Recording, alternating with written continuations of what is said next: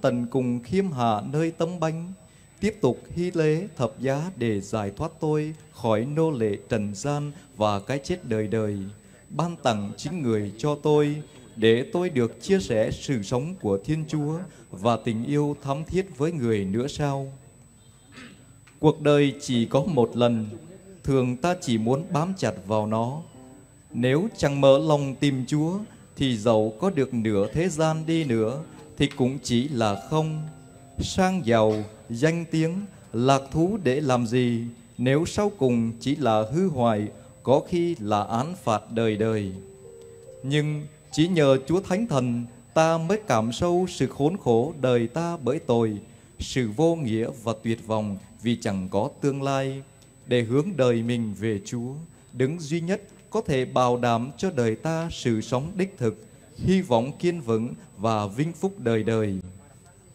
Xin cho chiều nay, khi gặp gỡ và đón nhận Chúa Thánh Thể, tâm hồn chúng ta được Thánh Thần chạm đến, để lòng được xúc động mạnh mẽ bởi tình thương khôn vời của Chúa mà thực sự quy phục tình yêu Ngài.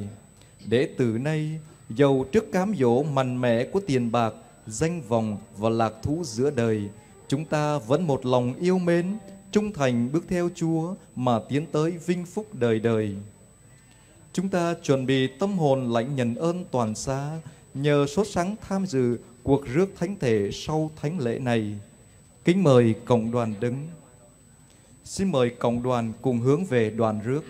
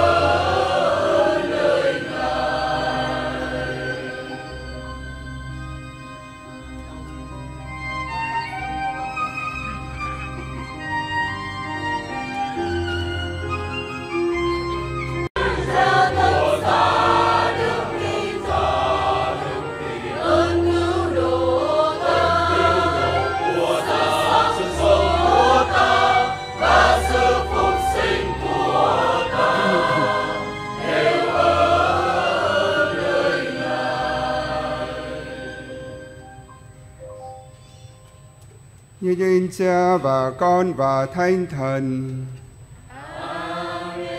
Nguyện xin ơn sống Đức Giêsu Kitô Chúa chúng ta, tình yêu của Chúa Cha và ơn thông hiệp của Chúa Thánh Thần ở cùng tất cả anh chị em.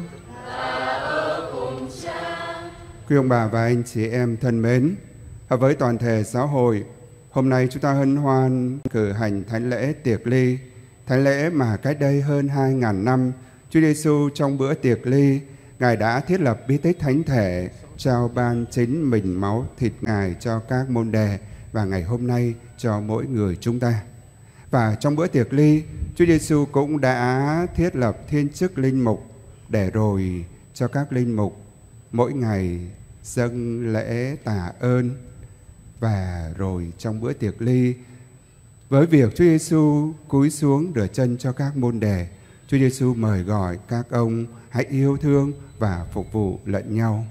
Xin cho mỗi người chúng ta không chỉ ngày hôm nay mà trong suốt cả cuộc đời, chúng ta hãy siêng năng đến với Thánh Thể Chúa, đón nhận Thánh Thể Chúa là nguồn sinh lực dồi dào, để rồi chúng ta tỏ lòng yêu mến và rồi chúng ta cũng nhớ đến cầu nguyện cho các linh mục hàng ngày và hơn thế nữa trong đời sống chúng ta hãy thực hiện lời mời gọi của Chúa. Anh em hãy yêu thương nhau như thầy đã yêu thương anh em và anh em hãy phục vụ lẫn nhau. Với tất cả tâm tình và ý nguyện đó giờ đây chúng ta sốt sắng cử hành thánh lễ tiệc ly hôm nay. Và trong tâm tình của ngày hôm nay chúng ta cũng hiệp ý cầu nguyện cho các linh hồn Giuse Maria, linh hồn Đa Minh Catarina, Ferro, Anna, Anton, Rocco, Vicente, Teresa cho tổ tiên ông bà cha mẹ, cầu nguyện cho các linh hồn tạ ơn Thiên Chúa, xin ơn bình an và theo như ý người xin. Để của lễ chúng ta được Thiên Chúa đại thương chấp nhận, giờ đây chúng ta cùng thành tâm thống hối.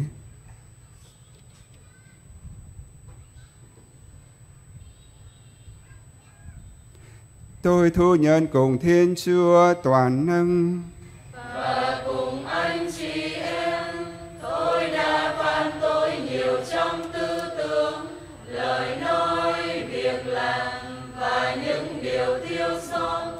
lỗi tại tôi, lỗi tại tôi, lỗi tại tôi mọi đàng vì vậy tôi xin Đức Bà Maria trọn đời đồng chinh.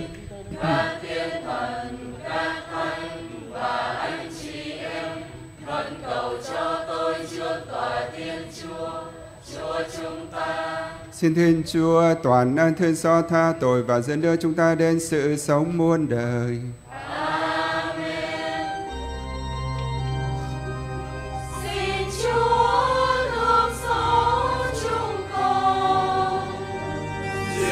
Chúa thương xót chúng con. Xin Chúa Kitô thương xót chúng con. Xin Chúa Kitô thương xót chúng con. Xin Chúa thương xót chúng con. Xin Chúa thương xót chúng con. Vinh danh Thiên Chúa trên các tầng trời.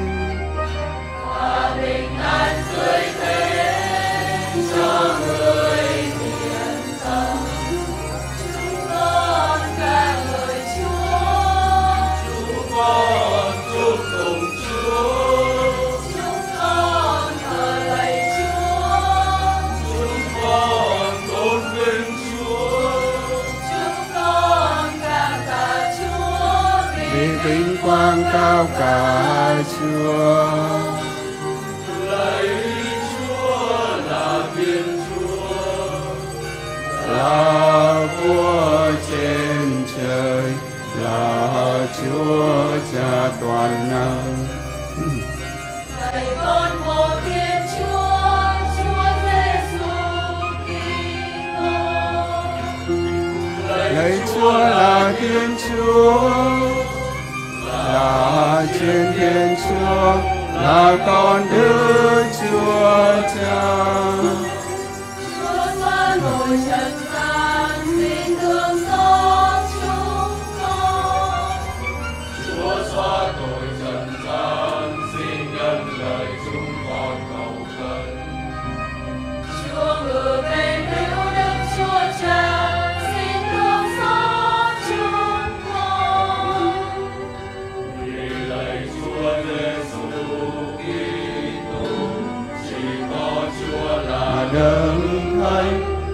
có Chúa là Chúa. chỉ có Chúa là đấng tối cao Cùng Đức Chúa Thánh Thần trong vinh quang Đức Chúa Cha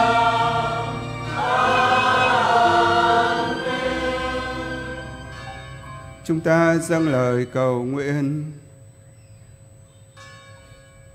Lạy Chúa, trong bữa tiệc ly trọng đại, trước ngày tự hiến thân chịu khổ hình, Đức Giêsu đã trỗi cho hội thánh một hy lễ mới muôn đời tồn tại, là bằng chứng tình thương của người. Chiều nay, chúng con đến tham dự yến tiệc cực thánh như lời người truyền dạy. Xin Chúa cho tất cả chúng con được tràn đầy tình yêu và sức sống viên mãn của người. Người là Thiên Chúa Hằng Sông và Hiên Chi cùng Chúa, hiệp nhất với Chúa thánh Thần đến muôn thua muôn đời. Kính thưa cộng đoàn, sách xuất hành ghi lại những lành truyền về bữa ăn vượt qua hàng năm mà Đức Chúa truyền cho dân Do Thái cử hành để tưởng niệm biến cố Đức Chúa giải thoát họ khỏi ách nô lệ Ai Cập. Đó là hình ảnh cho lễ vượt qua của dân mới mà Đức Kitô đã cứu chuộc. Kính mời cộng đoàn nghe lời Chúa. Bài trích sách xuất hành Ngày ấy, Đức Chúa phán với ông Môse và ông Aharon trên đất Ai Cập. Tháng này, các ngươi phải kể là tháng đứng đầu các tháng, tháng thứ nhất trong năm.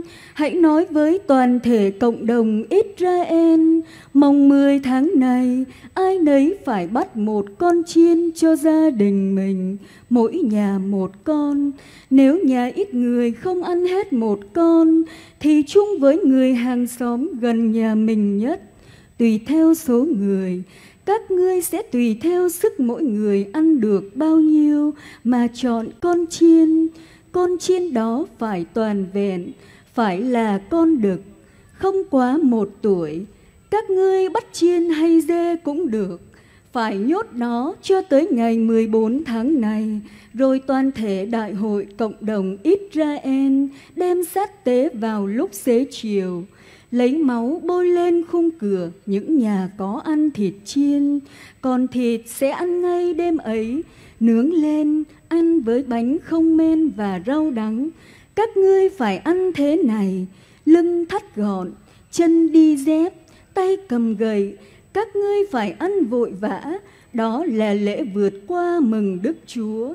Đêm ấy, ta sẽ rào khắp đất Ai Cập, sẽ sát hại các con đầu lòng trong đất Ai Cập, từ loài người cho đến loài thú vật, và sẽ trị tội như thần Ai Cập, vì ta là Đức Chúa.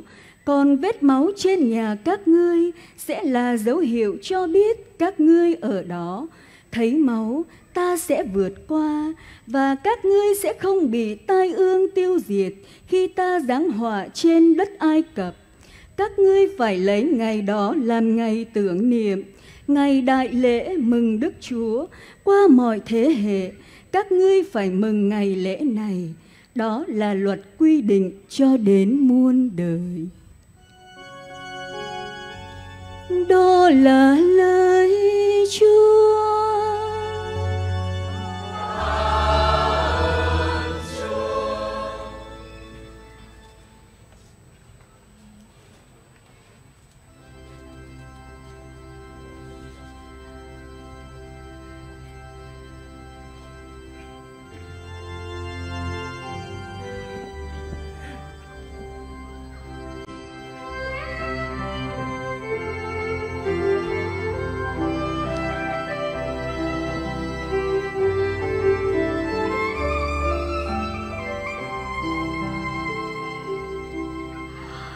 Chén chung tùng. Khi ta nâng chén chung tùng là ta đường ta đường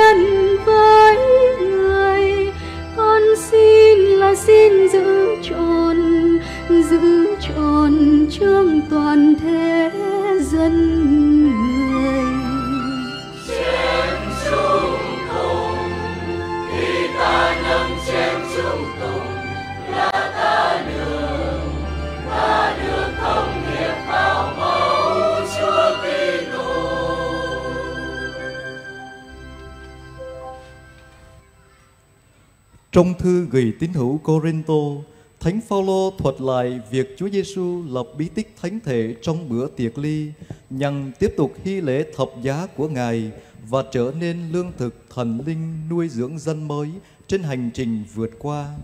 Kính mời cộng đoàn nghe lời Chúa.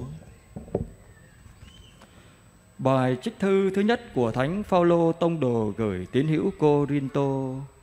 Thưa anh em, điều tôi đã lãnh nhận từ nơi Chúa, tôi xin truyền lại cho anh em. Trong đêm bị nộp, Chúa Giêsu cầm lấy bánh, dâng lời tạ ơn, rồi bẻ ra và nói: Đây là mình thầy hiến dâng vì anh em. Anh em hãy làm việc này mà tưởng nhớ đến thầy. Cũng thế, sau bữa ăn, người cầm lấy chén rượu và nói: Chén này là giao ước mới, lập bằng máu thầy. Mỗi khi uống, anh em hãy làm việc này mà tưởng nhớ đến thầy. Thật vậy, cho tới ngày Chúa đến, mỗi lần ăn bánh và uống chén này là anh em loan truyền Chúa đã chịu chết. Đó là lời Chúa.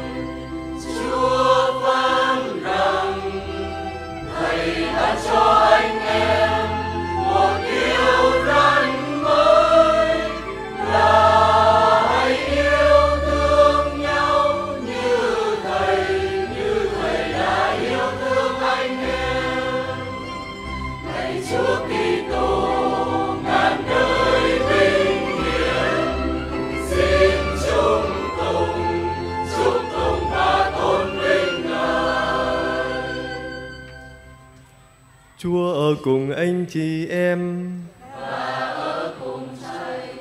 Tin mừng Chúa Giêsu Kitô theo Thánh Gioan.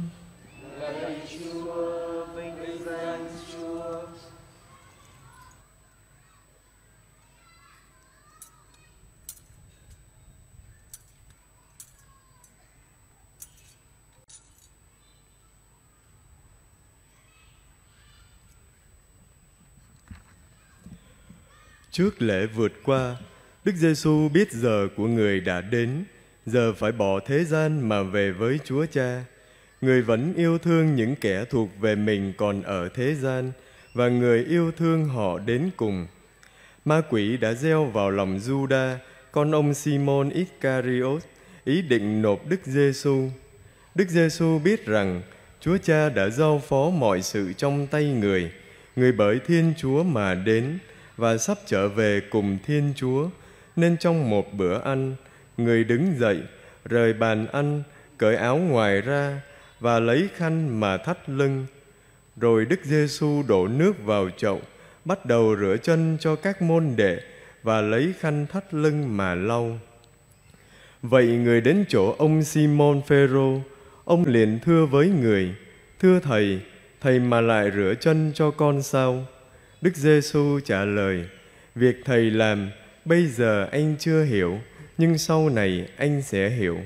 Ông Phêrô lại thưa: "Thầy mà rửa chân cho con, không đời nào con chịu đâu."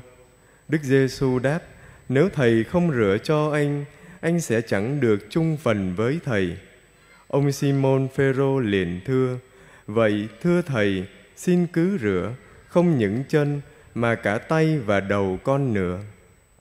Đức Giêsu bảo ông: "Ai đã tắm rồi thì không cần phải rửa nữa, toàn thân người ấy đã sạch. Về phần anh em, anh em đã sạch, nhưng không phải tất cả đâu. Thật vậy, người biết ai sẽ nộp người nên mới nói, không phải tất cả anh em đều sạch. Khi rửa chân cho các môn đệ xong, Đức Giêsu mặc áo vào, về chỗ và nói: anh em có hiểu việc thầy mới làm cho anh em không? Anh em gọi thầy là thầy là Chúa, điều đó phải lắm, vì quả thật thầy là thầy là Chúa. Vậy nếu thầy là Chúa là thầy mà còn rửa chân cho anh em thì anh em cũng phải rửa chân cho nhau. Thầy đã nêu gương cho anh em để anh em cũng làm như thầy đã làm cho anh em. Đó là lời Chúa.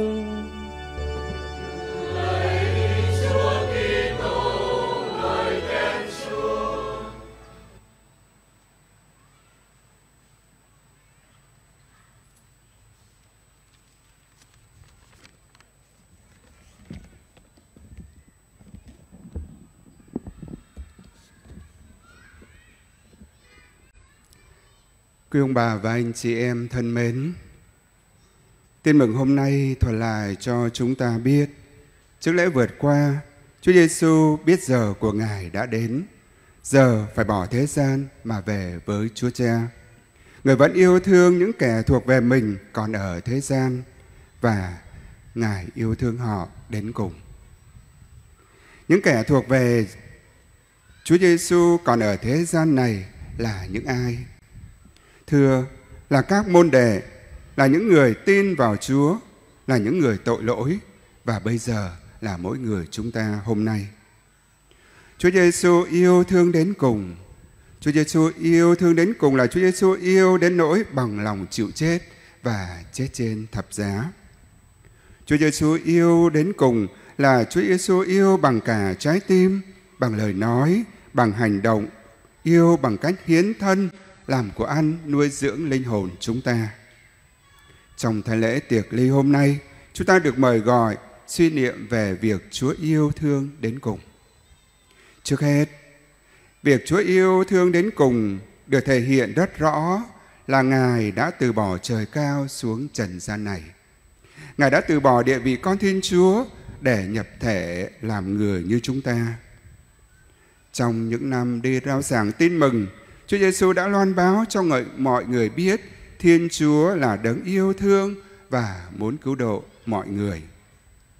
Chúa Giêsu chỉ cho thấy những con đường về trời khi mời gọi người ta thực hành giới luật, yêu thương, mến Chúa và yêu người. Chúa Giêsu cũng đã dùng lời nói để an ủi, để nâng đỡ những người đau khổ về tinh thần. Chúa Giêsu cũng đã dùng lời để ban ơn tha thứ cho những kẻ tội lỗi.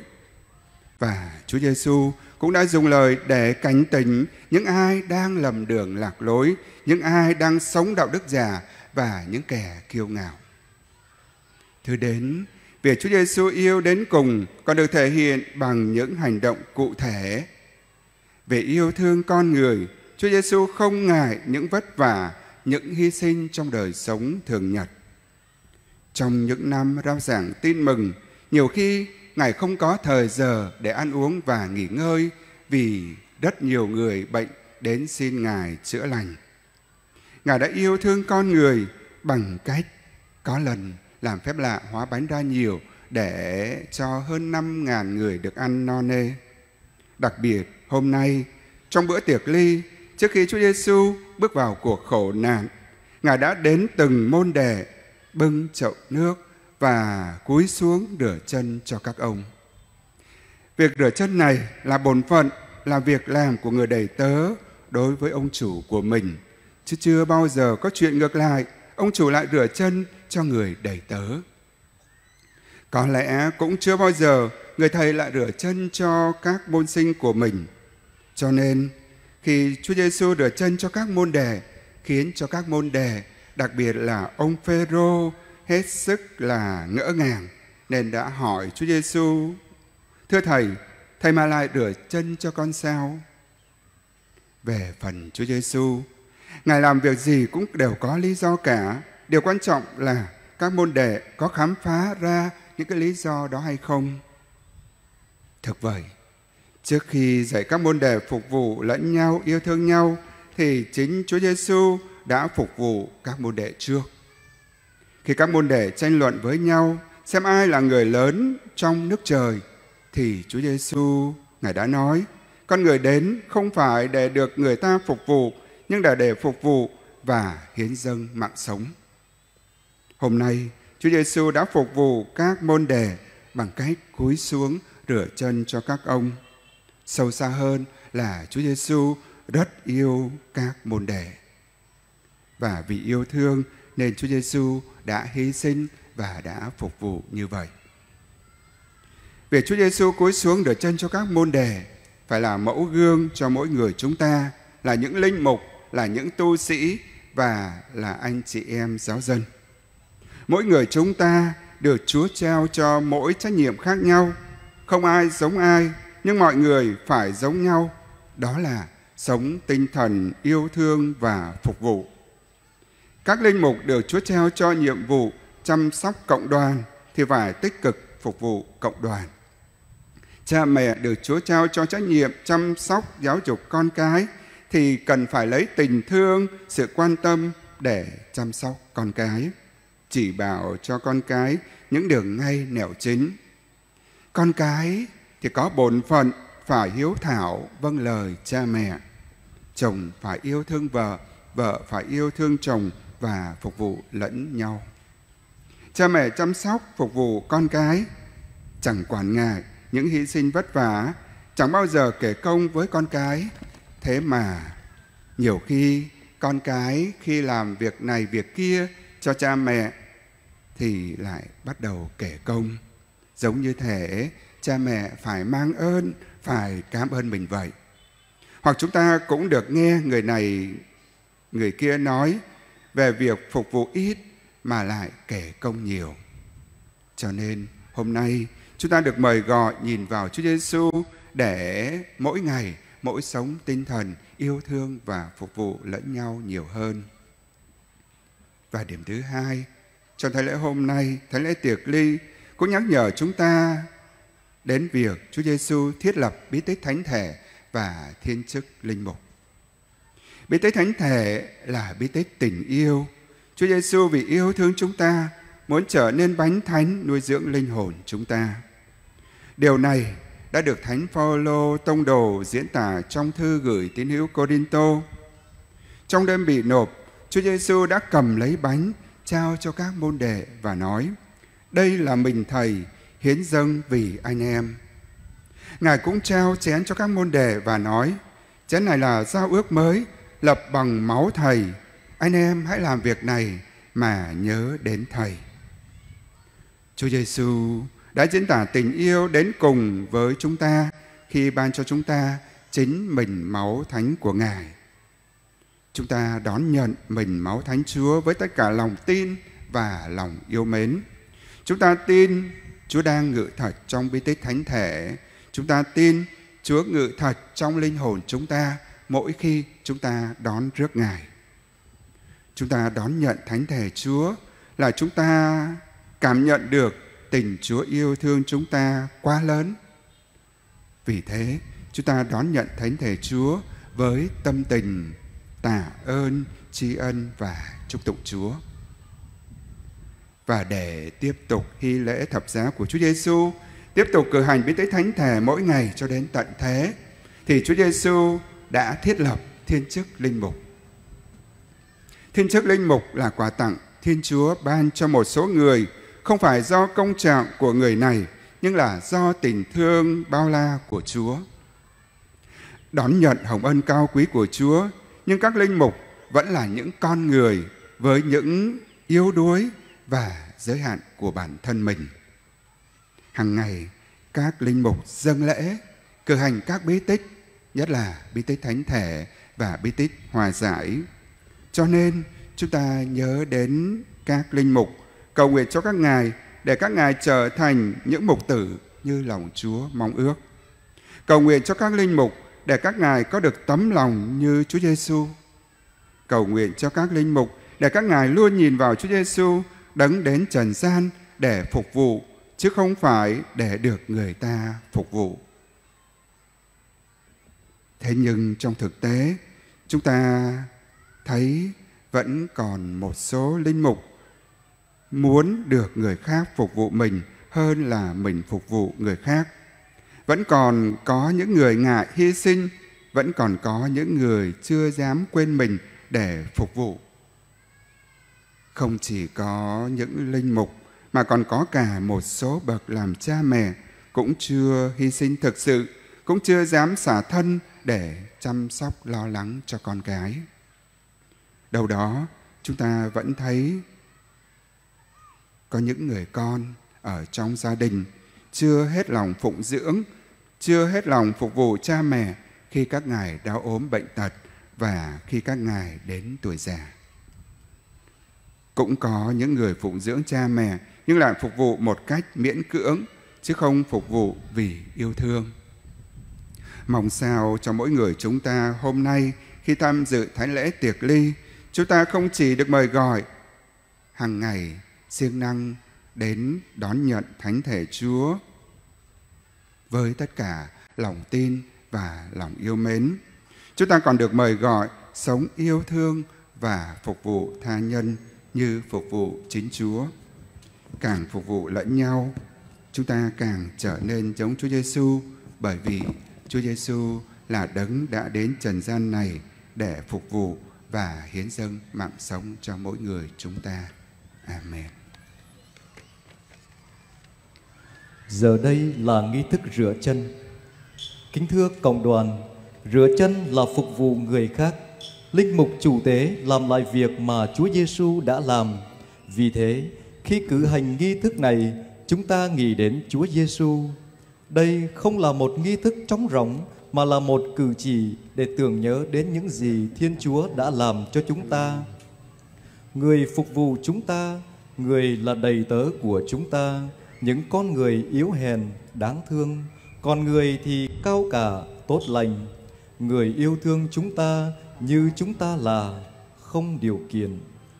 Thầy đã nêu gương cho anh em, để anh em cũng làm như Thầy đã làm cho anh em. Đây là cử chỉ khiêm nhường, thường chỉ các đầy tớ mới làm. Chúng ta không thể làm khác. Chúng ta không thể yêu thương mà không để cho Chúa yêu cho chúng ta trước. Chúng ta không thể yêu thương mà không sống kinh nghiệm khiêm nhường, hiền dịu gây kinh ngạc của Ngài. Chúng ta không thể yêu thương mà không chấp nhận rằng tình yêu thật là ở việc phục vụ cụ thể như chính Ngài. Xin cho bài học tình yêu khiêm nhường, phục vụ của Chúa hôm nay thấm nhập vào chúng ta để đời sống quên mình phục vụ mà gia đình chúng ta thêm hạnh phúc, giáo xứ thêm hiệp nhất và nhiều người có thể nhận ra chúng ta là môn đệ của Thầy Giêsu.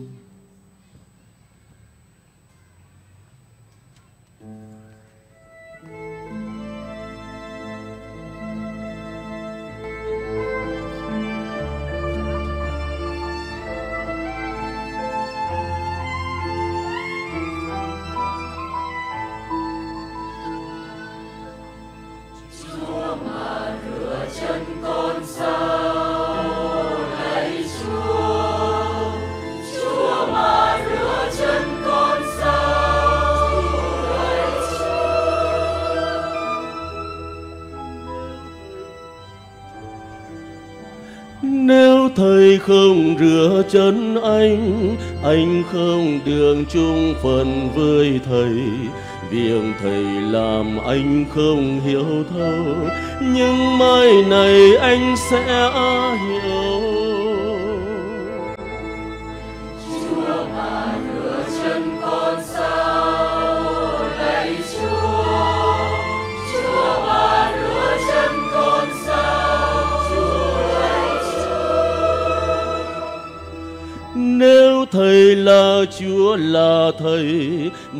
thầy còn rửa chân anh em, mà thầy còn rửa chân anh em, thì anh em phải rửa chân cho nhau.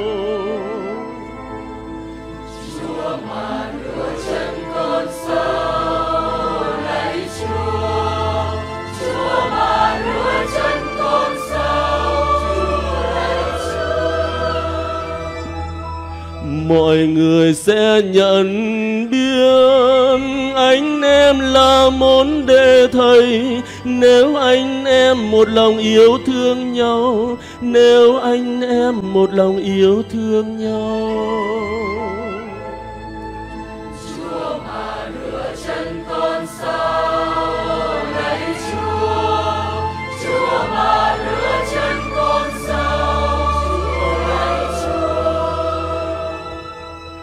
Thầy ban cho anh em môn điều răn mới là phải yêu thương nhau như chính Thầy yêu thương anh em.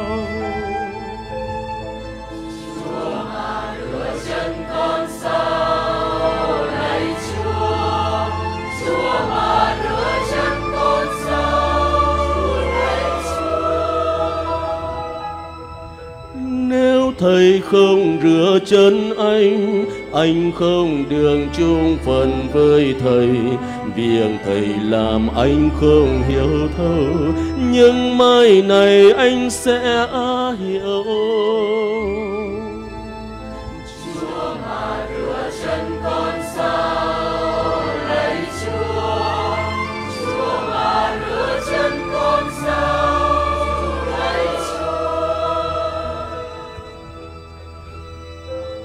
Nếu Thầy là Chúa là Thầy, Mà Thầy còn rửa chân anh em, Mà Thầy còn rửa chân anh em, Thì anh em phải rửa chân cho nhau.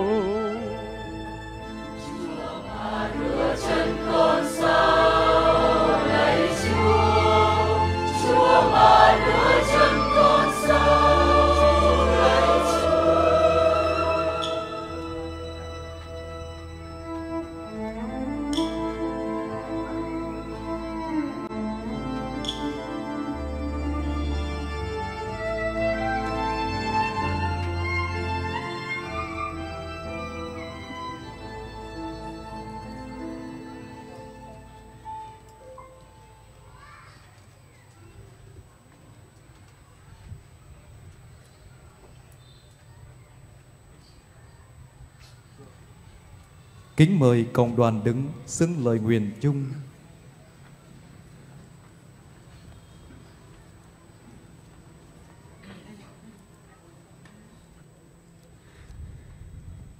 Anh chị em thân mến, trong bữa tiệc ly, Chúa Giêsu đã để lại cho hội thánh ba quả tặng cao khôn. Cao cả khôn vời là bí tích thánh thể, chức linh mục và luật yêu thương. Trong tâm tình cảm mến tri ân, Chúng ta dâng lời nguyện xin. Chén chúc tụng là sự thông hiệp máu Chúa Kitô. Xin cho các linh mục nhờ cứ hành thanh lễ cách đạo đức, ngày càng sống tình yêu thâm thiết với Chúa Giêsu mà hân hoan phục vụ dân Chúa và tha nhân trong nhiệt thành, khiêm nhường và hiền lành.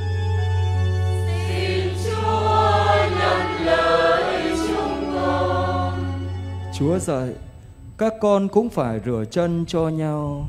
Xin cho quy chức ban hành giao và tông đồ giao dân biết quên mình phục vụ cách nhiệt thành và vô vì lời theo gương Chúa Giêsu để giáo sư ngày càng hiệp nhất yêu thương mà làm chứng cho tin mừng.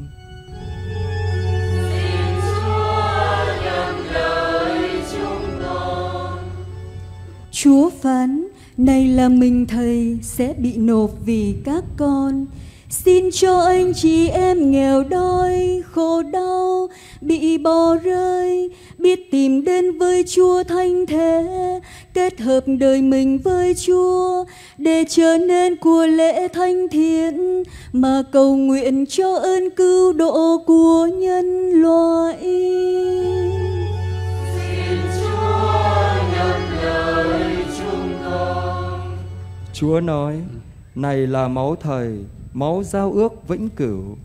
Xin cho mọi người trong cộng đoàn chúng ta siêng năng dự lễ, rước mình thanh chúa và chầu thanh thề với tròn đức tin và lòng mến, để ngày càng hân hoan sống tình yêu thân thiết với Chúa Giêsu.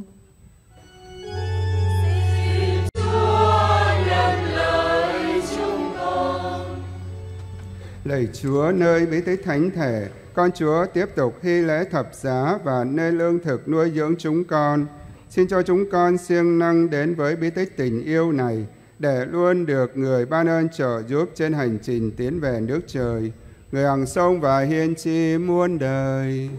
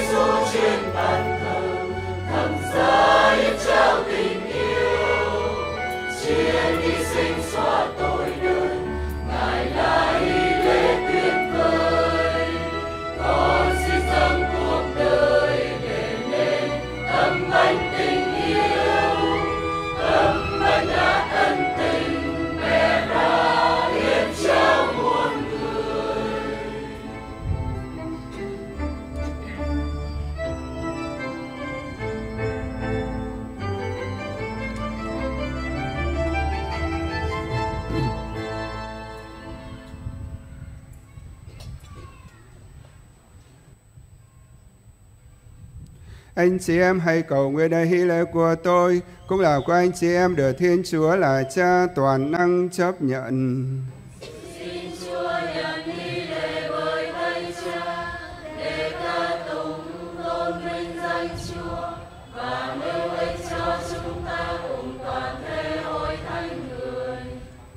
Lạy Chúa xin thương giúp cộng đoàn tín hữu chúng con cử hành thánh lễ này cho xứng đáng vì mỗi khi chúng con dâng lễ tưởng niệm của khổ hình của Đức Kitô là chúng con được hưởng ơn cứu chuộc của người, người hằng sông và hiên tri muôn đời.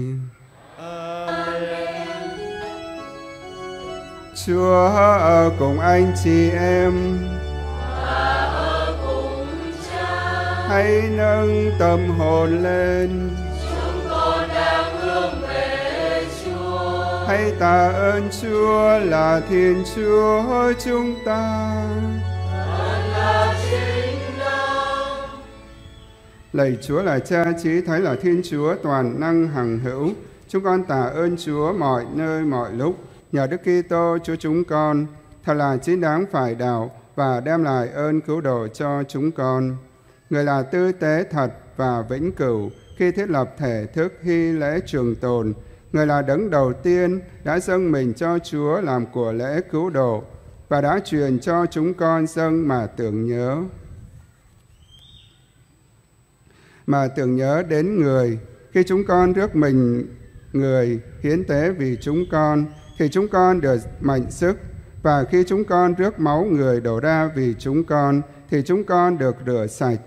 Vì thế, cùng với các thiên thần và tổng lãnh thiên thần, các bề thần và quản thần cùng toàn thể đạo binh thiên quốc. Chúng con không ngừng hát bài ca, chúc tụng vinh quang chúa rằng.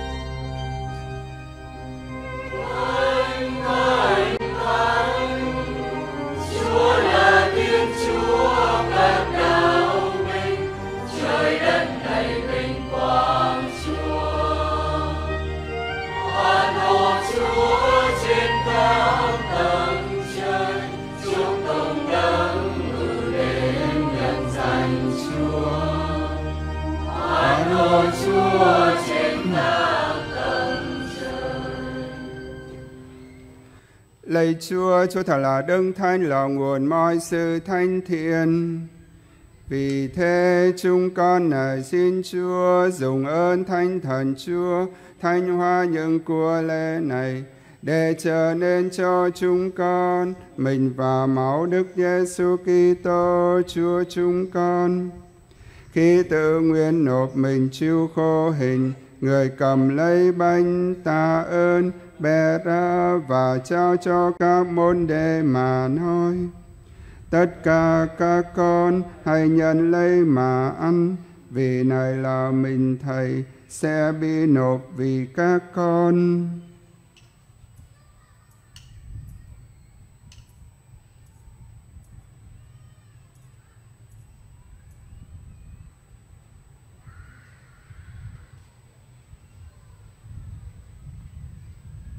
Cùng một thể thức ấy, sau bữa ăn tôi người cầm lấy chén cũng tạ ơn, trao cho các môn đệ mà nói. Tất cả các con hãy nhận lấy mà uống, vì này là chén máu thầy. Máu giao ước mới và vĩnh cửu sẽ đổ ra cho các con, và nhiều người được tha tội. Các con hãy làm việc này mà nhớ đến thầy.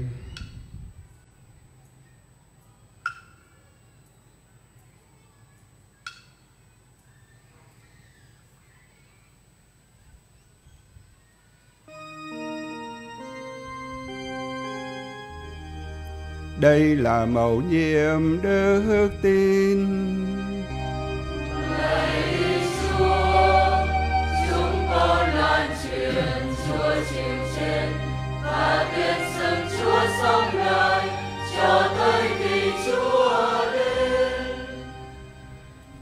Vì vậy lạy Chúa, khi kinh nhớ con Chúa chịu chết và sống lại, chúng con dâng lên Chúa bánh trường sinh và chén cứu độ để tạ ơn Chúa.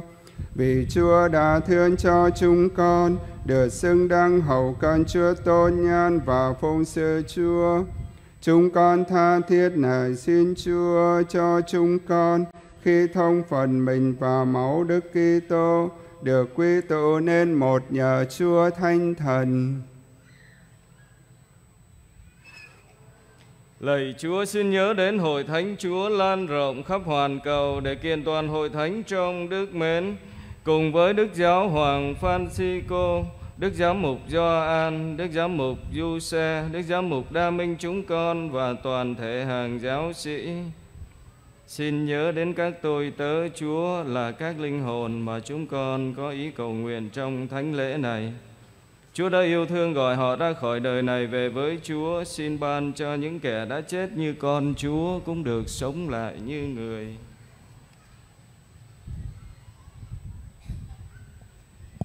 Xin Chúa cũng nhớ đến anh chị em chúng con đang an nghỉ trong niềm hy vọng sống lại và mọi người đặc biệt các bậc tổ tiên ông bà cha mẹ và thân bằng quyến thuộc chúng con đã ly trần trong tình thương của Chúa xin cho hết thảy được vào hưởng ánh sáng tôn nhan Chúa. Chúng con này xin Chúa thương xót tất cả chúng con cho chúng con được đồng người sự sống đời đời cùng với Đức Trinh Nữ Maria, Thánh Mẫu Thiên Chúa, Thánh Giuse, bản trăm năm Đức Trinh Nữ, các thánh tông đồ, thánh Martin, các thánh tử đạo Việt Nam và toàn thể các thánh đã sống đẹp lòng Chúa qua mọi thời đại. Và cùng với các ngài chúng con được ca ngợi và tôn vinh Chúa nhờ Đức Giêsu Kitô con Chúa.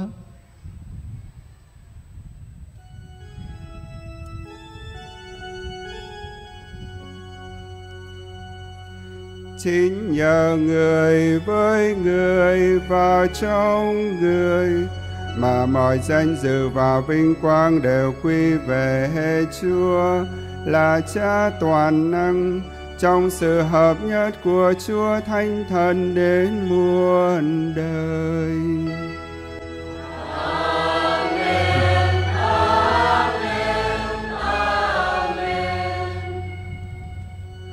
Vâng lời Chúa cứu thế và theo thể thức người dạy, chúng ta giam nguyện rằng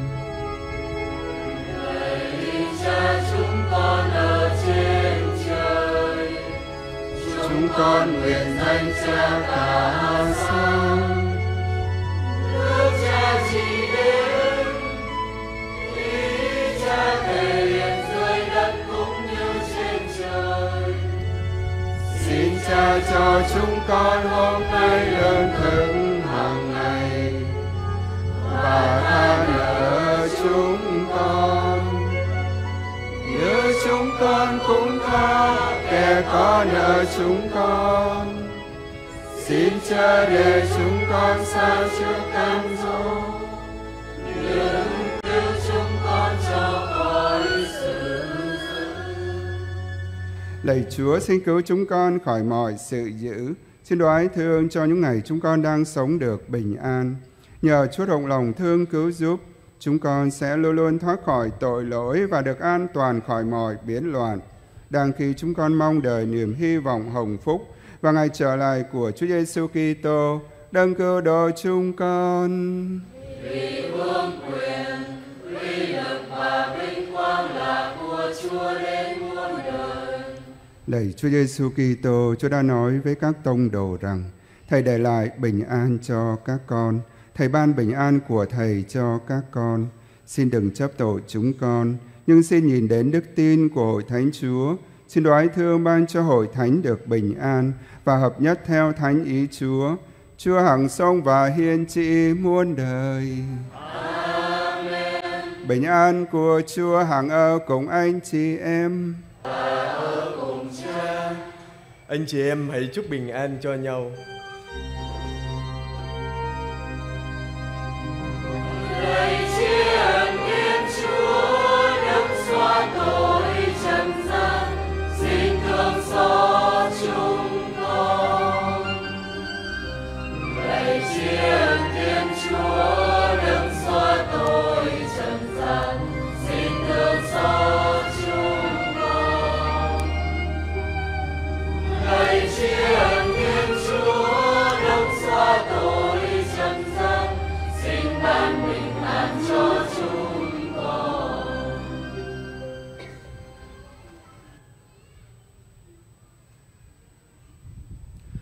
Đây chiên Thiên Chúa để đấng xoa tội trần gian, phúc cho ai được mời đến dự tiệc chiên Thiên Chúa. Lạy Chúa, con chẳng đang Chúa ngự vào nhà con, nhưng xin Chúa phán một lời, thì linh hồn con sẽ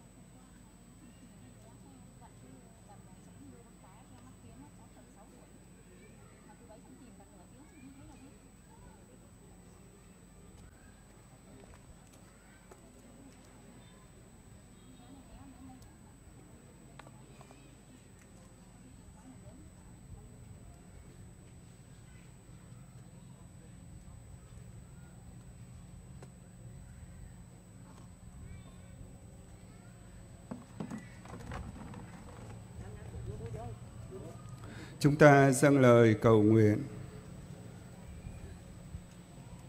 Lạy Thiên Chúa toàn năng và nhân hậu, chiều nay chúng con đã được bổ sức tại bàn tiệc của Đức Kitô.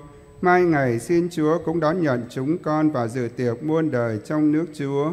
Chúng con cầu xin nhờ Đức Kitô Chúa chúng con.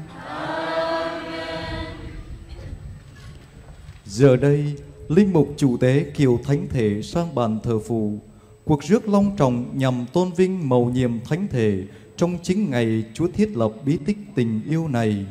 Ôi nhiệm tích vô cùng cao quý, chúng ta hãy khiêm cung thờ lạy.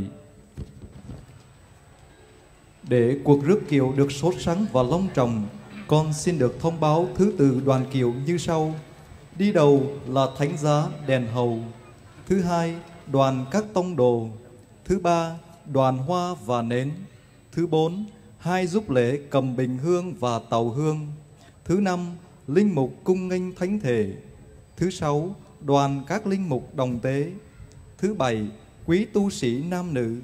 Thứ tám, huynh đoàn giáo dân đa minh. Giờ đây, xin mời cộng đoàn cùng hướng về đoàn kiều.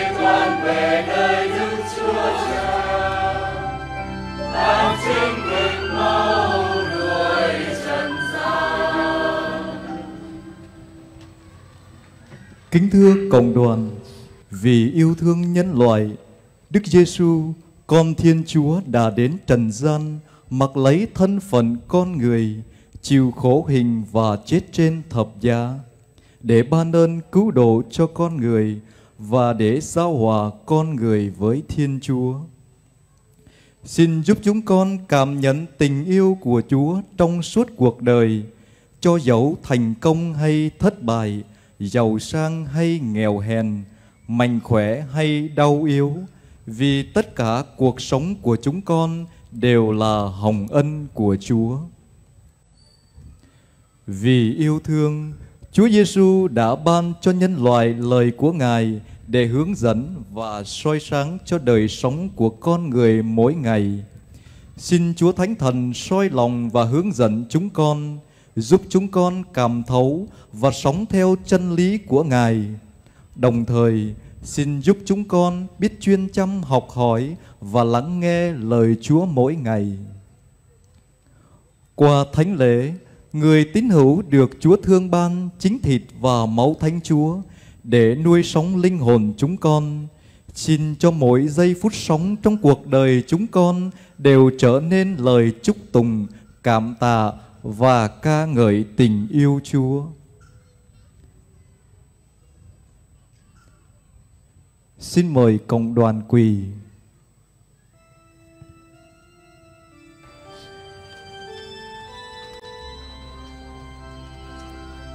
Trong đêm thứ năm anh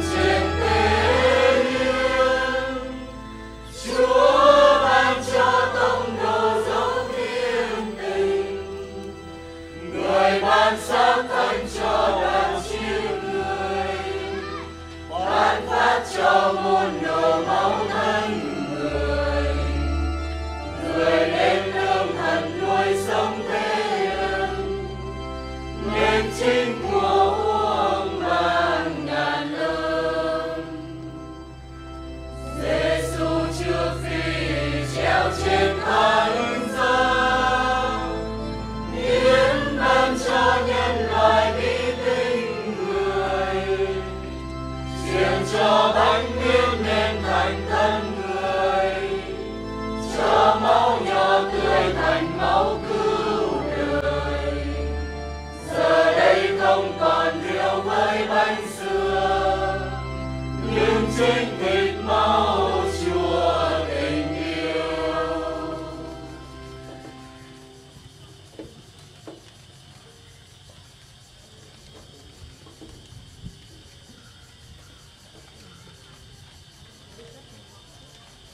Xin cho cuộc đời chúng con siêng năng đến tham dự bàn tiệc thánh thể để chúng con lãnh nhận chính Chúa và nên một trong Ngài.